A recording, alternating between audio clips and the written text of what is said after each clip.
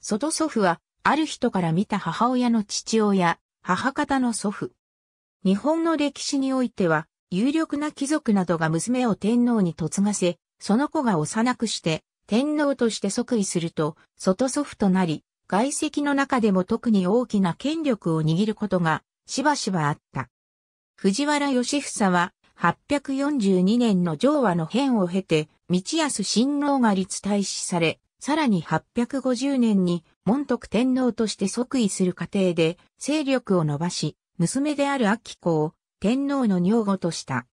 やがて、門徳天皇と明子の間に生まれた、これ人親王を立大使させ、さらに858年に、清和天皇として9歳で即位させると、大乗大臣、あるいは摂政として実権を握った。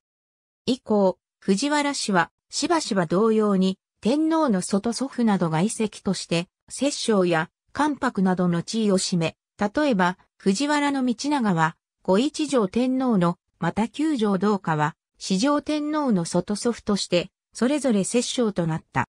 平の清盛も、娘である徳公、高倉天皇の中宮の年、その間に生まれた、時人親王が、生後間もなく立大使された。1180年、時人親王は、上皇となって陰性を敷いた父から上位され、満1歳4ヶ月で即位して安徳天皇となったため、清盛も最晩年の1年弱の間は天皇の外祖父であった。即位の時点で外祖父が健在であった最後の天皇は明治天皇であり、聖母である中山慶子の父、中山忠康は1888年まで存命であった。